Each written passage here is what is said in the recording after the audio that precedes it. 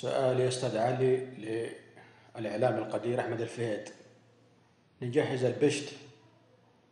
يا أستاذ أحمد ولا كيف؟ أنا معلق البشت ومبخر جاهز.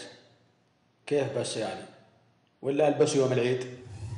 يا أستاذ علي السلام عليكم. الدوري اتحادي الدوري اتحادي ما حد يقدر يلحق الاتحاد خلاص.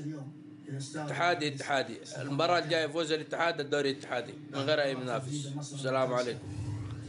بالنسبة للضغط اللي حاصل للهلال. أخشى ما أخشى أنه يتأثر. لا قدر الله بإصابات ويؤثر غياب في النهائي. الآسيوي لكن إن شاء الله أنها تعدي الفترة هذه من الهلال قادر بإذن الله. على انتصار في جميع المباريات بما فيها أمام الاتحاد وفي النهائي بإذن الله. وناخذ الكاس وكاس الملك والدوري بإذن الله. بشتك يا أحمد الفهيد بشتك يشغل العالم. يلبسونه بالعيد وخلاص.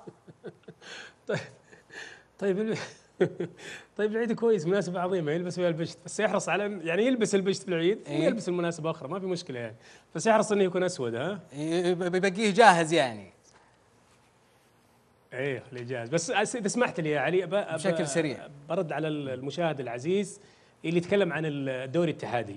بس أنا بذكره بشغلة. العام الماضي ويمكن كان معي الأستاذ جمال عارف أو أعتقد ال- الكابتن الكابتن نسيت اسمه لا إله إلا الله. آه، ما يخالف عبد الله مدافع فلاته الاتحاد اللي حمد المنتشري حمد المنتشري. لا مدافع. الاتحاد حمد المنتشري. حمد المنتشري. حمد المنتشري.